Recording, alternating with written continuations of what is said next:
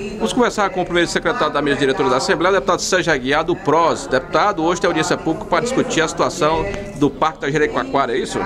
Isso, nós vamos ter uma discussão aqui na Assembleia Legislativa sobre a forma de gestão que está sendo proposto pelo governo federal para o Parque Nacional de Jericoacoara. É, existem algumas controvérsias, dizendo como se fosse uma, uma pretensa privatização, nós não acreditamos nisso, mas nada de que aqueles que fazem parte do núcleo gestor participam dessa, é, desse gerenciamento do parque que venham até aqui para poder esclarecer para a opinião pública cearense aquilo que realmente deve ser feito a partir desse modelo de gestão para o Parque Nacional de Jericoacoara.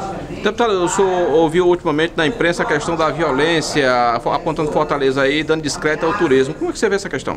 Bom, eu primeiro de tudo vi hoje que os assaltos a ônibus no Rio de Janeiro e São Paulo cresceram mais de 100%. Em Fortaleza diminuíram 57%. Então as pessoas é, costumam sempre divulgar só o lado ruim das, das notícias.